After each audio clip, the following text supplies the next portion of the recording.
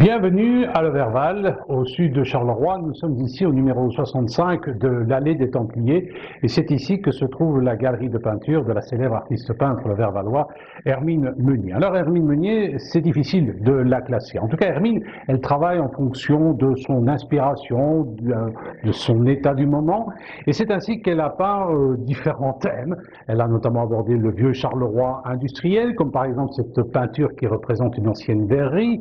Elle est passionnée aussi de carnaval, on pourrait découvrir des œuvres qui représentent le carnaval de Cadix ou encore un carnaval au Guatemala. Et puis elle aime aussi son village, l'Overval. Elle a réalisé notamment une fresque qui représente différentes maisons art déco de l'Overval. Elle aime aussi son village, Gerpine. On peut trouver notamment une peinture qui représente l'église Saint-Michel de Gerpine. Bref, Hermine Meunier, elle peint tous les jours, elle va encore à l'académie et tous les jours elle nous offre du rêve.